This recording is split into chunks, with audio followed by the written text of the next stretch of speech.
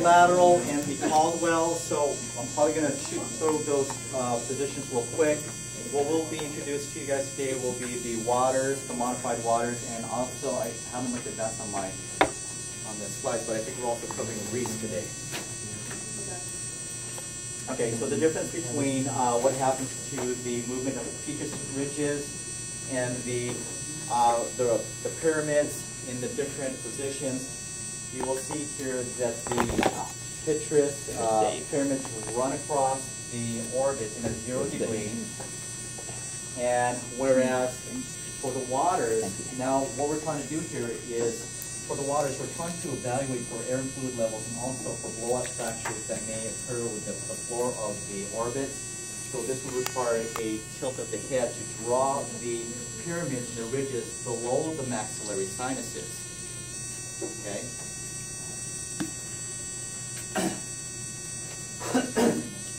so again, this is just a comparison of a uh, of a uh, straight PA all mouth perpendicular to the uh, image receptor, no angulation of the X-ray tube, so the pyramids will lie right across the, the. Whereas here, with the uh, chin up, with again zero degree angulation of X-ray tube, it's not going to be projected below the maxillary sinuses. Okay, the maxillary. Okay. We talked about this earlier when doing facial bones and also sinuses. We prefer to do it in an upright position, but again, you need to assess assess your patient's condition for them to do that. We would like to give, do it in an upright position so we can evaluate for air and fluid levels. Um, however, if you have a trauma patient, the best way to do this would be in a lying down position. The only thing here again is that you, not, you may not be able to see the air fluid levels as fast as you can with an upright. So the lateral facial bones, lateral facial bones. You guys already, we've already covered lateral skull, right? Mm-hmm. So the lateral skull, where's your central ray directed? Two inches above Two inches above the EAM, okay. So for facial bones, okay, positioning stays the same. The interpupillary line is going to be perpendicular with the image receptor. The mid-sagittal plane is going to be parallel with the image receptor. So this is how we control rotation and tilt. So the only difference between the skull, the skull is two inches above the EAM. For facial bones, it's going to be directed right at the zygoma, or the prominence, the, the part that sticks out the most on your cheek. Okay? Any questions here? Same thing. Nothing changes. Structures best seen as superimposed, super, uh, uh, superimposed facial bones, including the mandible. Are we concerned with the skull? Okay, so if you cut off the cranium during the facial bones, that's okay, because this is facial bones, not the entire skull. So that is acceptable. Okay? All right. So to find the zygoma, it's going to be midway between the EAM and the outer canthus of the eye. That'll take you right at the prominence of the zygoma. Okie dokie?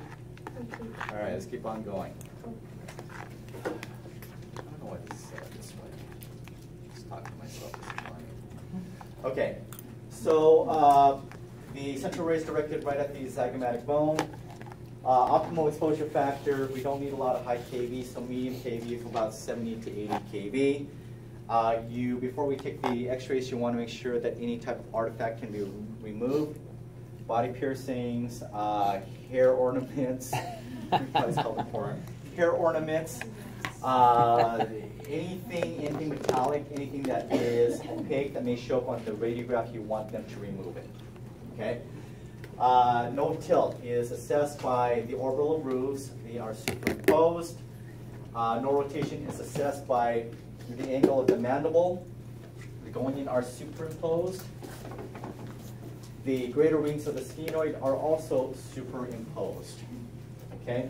Now, you're not going to get, in most cases, you're not going to get one structure. They may be slightly off a little bit because we're, we're dealing with two things. First, we're dealing with a divergent beam.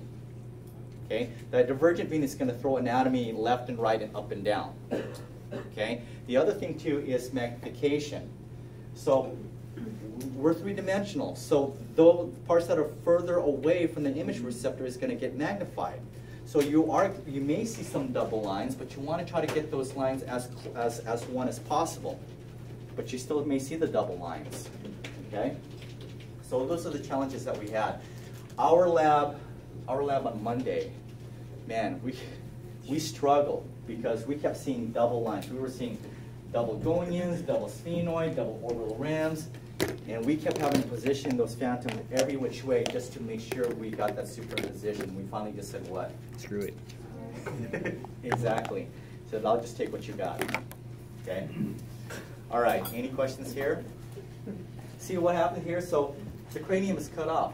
It's okay. Because we're, we're, we're focused on the face, the facial bones. That's what we want. All right, the parieto-acanthial, the parieto-acanthial view. Okay, this is also known as the waters. well, this is, is this going to be easy to do on the table? No. Okay, probably not, especially if they've gotten into a car accident or they fell down a, a set of stairs. You don't want to do that. So you want to try to do it in an upright position as best as possible. Again, assess your patient situation. So in performing a parietal acanthial uh, view, or the waters, new baseline here is your MML. What does MML stand for? Mental meatal Mental line. meatal line. So it's going to be chin. The chin is going to be on the surface of the image receptor or the table or the wall bucky, but the chin is going to be pressed up against the, uh, the board, okay, or the table. Um, the other thing you want to make sure is there is no rotation of the head. So now your mid-sagittal plane has to be perpendicular with the image receptor. All right. Central ray is going to be directed uh, the back of the head to exit the acanthion. Where's the acanthion? Okay, so it's right below the way everybody did that. So right below the nose, okay? Exit the acanthion. When we do this MML, you're trying to achieve this 37 degree angulation. And when you do this, what happens to the petrous portion or the pyramids? What's going to happen to that? Where is it going to lie? Here's the mass, here's the maxillary sinuses, so it's going to lie where? It's going to be below that. Again, the whole purpose of this waters is we're trying to look at the orbits and we're also looking at the maxillary sinuses. If the petrous pyramids are across the, uh, the sinuses, we can't see fluid levels. So we want to try to get it as low as possible. Okay? Questions here. so the petrous ridges is going to be below the maxillary sinuses. No rotation, optimal exposure factors. So to, so we want to make sure that these are free and clear. To assess uh, any type of rotation, we're looking at the outer margins to the edges of the skull with no rotation. And how do we know if this is done PA or AP? Do we know that by now? By looking at the eyes. By looking at the eyes. So look at the distance between the lateral margin and the edge. Is this AP or PA? PA. PA. If it was AP, That'd be this short. margin would be close to the edge of the, the skull. Okay, so again, this particular view is good for ruling out, RO stands for ruling out. Good for ruling out Le Fort's and also tripod fracture and also foreign body to the eyes. Okay. Okie dokie. All right. I threw a couple of pictures on here just so you guys know what Le Fort's and you guys already know what a tripod fracture is, right?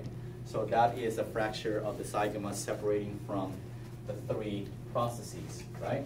So that's your tripod. Over here is Le Forts or Le Forts or whatever. Okay. So Le Forts is a horizontal fracture across the maxilla, and they have a they have different degrees of of uh, fractures. Generally, again, it's a horizontal fracture that just um, that is just part of the maxilla. But if it's more severe, uh, if it's more severe, it does include the other bones. Okay, So this is type two, and then type three is the entire facial area with a horizontal fracture that goes all the way across. Okay? But basically what Le Fort's is, is a horizontal fracture involving the maxilla. Okay? The definition's in your book. I just wanted to put a picture up there so you guys understood what it was. Okie dokes? Okay. Okie dokes, okay. P.A. Caldwell. We've seen this already, right? Does it change? Central ray, PA. What are we trying to get perpendicular with the image receptor? OML? OML, the, the uh, orbital meatal line is perpendicular with the image receptor. In a PA projection, we're going to do a 15 degree angulation downward. Does it stay the same? Yeah. yeah. It stays the same. We're done. Okay. It's the same thing as the skull, except for facial bones. Okay. Petrous ridges are going to be projected into the lower thirds of the orbits. No rotation, optimal exposure factors using uh, medium KV of 70 to 80. The cristagalli is going to be equidistant to the outer margins. Where's the cristagalli? That flame. The flame? The little flame, okay. Cristagalli, equidistant to the outer. Midlateral orbital rim, equidistant to the outer margin, and superior orbital fissures are symmetrical. All right, um, AP or PA? Yeah. Again, it's PA, right? Because we're looking at the outer margin. Look at the great distance from here to here. Where are the All right. orbital fissures at? Right here.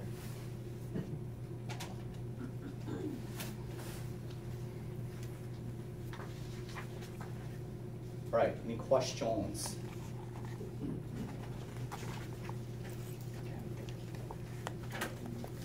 Modified waters.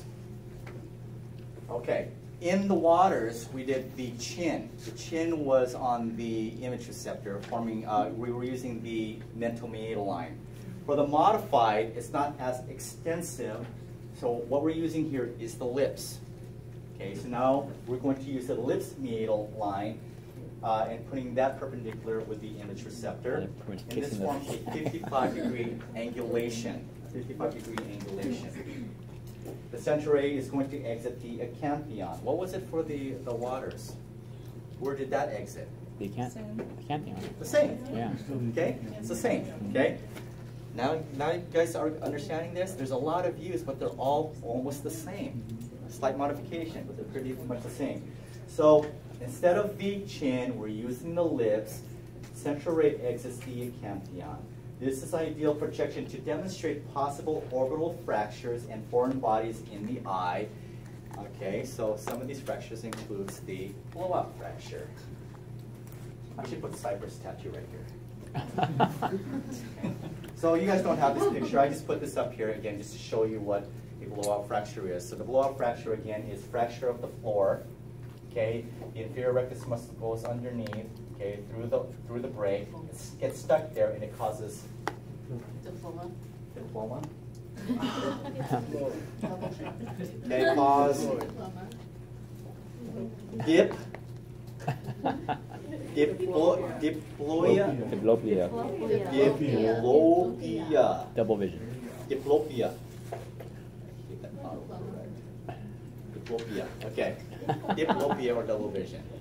All right, so the modified waters, very good in looking at the core of the orbits. But look what happens to the petrous, petrous ridges. Where are they sitting?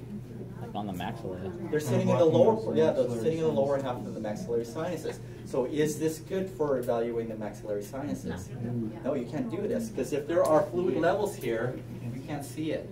Oh. And this is why this is only good for looking at the floor of the orbits. We're not looking at the maxillary sinuses on this one.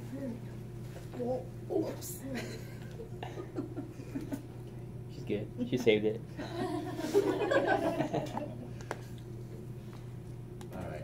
Still good. Still good. Nasal bones. Okay, we have the lateral, we have the parietal acanthial, which is the waters, and then we have the PA axial. All the same views, right? Okay, lateral. The interpupillary line is going to be perpendicular with the image receptor, and again, your mid-sagittal plane is going to be parallel as well with the image receptor. Center ray is going to be centered to one half inch inferior, one half inch inferior to the nasion. So where's your nasion? Okay, it's the top of your bridge. Okay, so we're just going to go half an inch below So like the, that. it's pro- pretty much the interpupillary line. Oh, Okay, here's your nasion right here, so half an inch below that oh, A little bit. to enter the nasal. IOML. Yeah. IOML. Okay, let's do that. Yeah. You want to call it that? Okay, let's call it the IOML, yeah? I'm having a touch. Oh, It is. Yeah, okay. Okay, this- so not everybody's confused, let's just say half an inch below the nasion. okay. But, I mean, but for you to visualize it, yeah, IOML. But I'm not gonna write that on the test. Okay? Okay. When we're doing nasal bones, we generally do it bilaterally. Okay, you do two, v- you do two laterals. Okay? Is this a right lateral or left lateral? Left Left lateral. So which nasal bone are we looking at? Closest to that. This is closest to the IR. Okay, yeah. So are we, do we agree this is a left lateral? Left lateral, okay. So left side is closest to the image receptor. We do that, we flip them on the other side, and we do a right. Okay? For the left, right? In the olden days, in the olden days, which is probably just uh, last uh, last year, before digital, we performed this on an extremity film, an extremity cassette. You guys remember your speeds? No. Slow Yeah, let's speed, just fast forget speed. about it. okay, so we use slow speed for extremities because the slower the speed of the intensifying screen, what happens to your detail? It gets better, It gets better. Remember, we have two different. We had various speeds of screens. but the exposure is higher, right? Yeah. You guys. All right. All right. Nasal bones. Collimate to the area of interest. No more than that. The nasal bones are very small. All right. So here's the nasion, half an inch below the nasion, takes you right in the middle of that bone. Okay. Uh, low KVP. I guess we don't care about this, right? Apparently not. Okay, the low KVP. Low KVP, collimation is important, okay? So although we're not uh, using different speeds, collimation is important because it is a small bone. Not only is it small, but it's also very thin. Okay, so collimate, collimate, collimate, collimate. Okey dokes? So we do it bilaterally, one left, one right, and we do a comparison. Questions? Okay, so here's one with a fracture of the bone. Don't know which one it is. Nose hole. This right here? Yeah, right up there. Where the arrow's at. Right here? Right there. No. That's a fracture right Yeah. there. That's a fracture. What hole? Down? Were you Nostril. pointing at? Right here. Right there, uh-huh. Yeah, the- that's a big nose. She said it's Hole. a big nose hole. Oh, it's a big nose hole. Yeah. Put your finger in. I think it's the wrong one. You can use two fingers. You guys are getting obnoxious now. Gross. All right, so two, two projections, okay, one left, one right, okay? Let's keep on going. What's wrong with this image? It's a nasal bone, right? Why, why do we have the, the maxilla in here? Why do we even have the lower teeth in here? It's like an ink block test.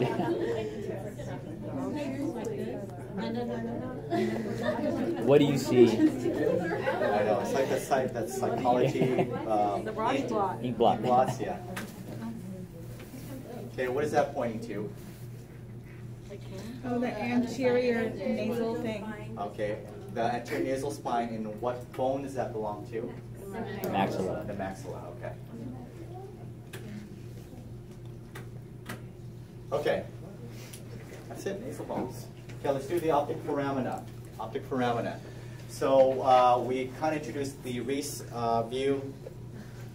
We already know the waters. We already know the Caldwell, right? We already know the modified waters. Okay. So for the parietal orbital or the Reese method, AML. Okay, the AML. What's the A? What's the A? The canthonial line from here to there. Okay, the imaginary line is going to be uh, perpendicular to the image receptor. We're going to rotate the head approximately 37 degrees.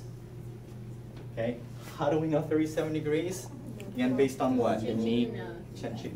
The So we do our very best to do that, okay? Uh, central ray is going to be uh, perpendicular to the downside orbit, so in a PA projection, we're looking at the side down. So the side of interest is going to be closest to the image receptor. And again, these aren't easy to do, especially if there is facial injury. So now we're going to flip them on their side, do the same rotation, but which side of interest is it, is it now? If they were on their back doing an AP. What? Side up. The side up. It's going to be the side up. So we're going to rotate it to the affected side, mm-hmm. okay, out the unaffected side, but we're looking at the side up. Okay. Also, bilateral projections are taken for comparison. Depends on your facility. Okay. Just like everything else, it depends on your facility. And it also depends on what you're collimating. Some facilities only have you collimate to just the side of interest. Others have you open it up to include both orbits.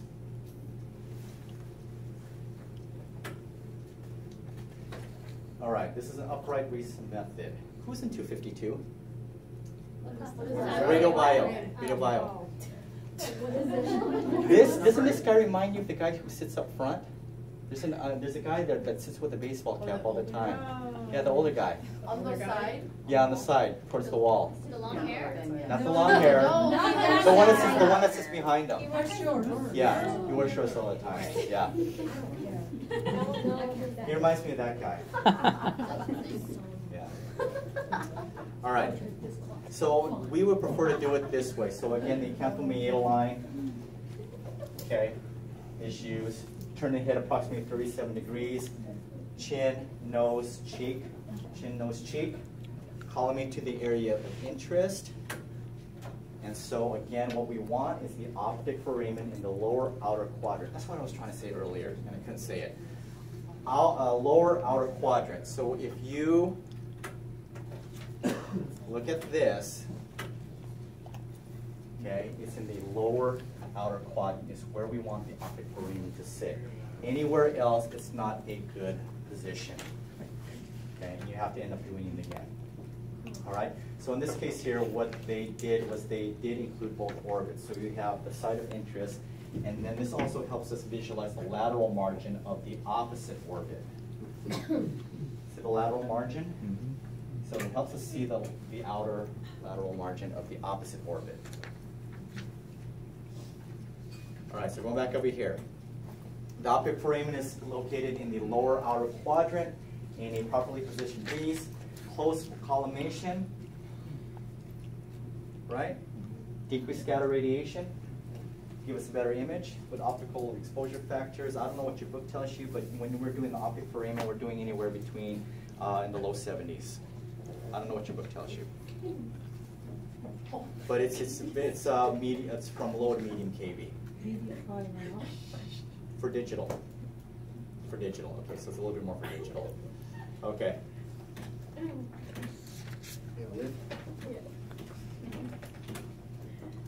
We're done. Yeah.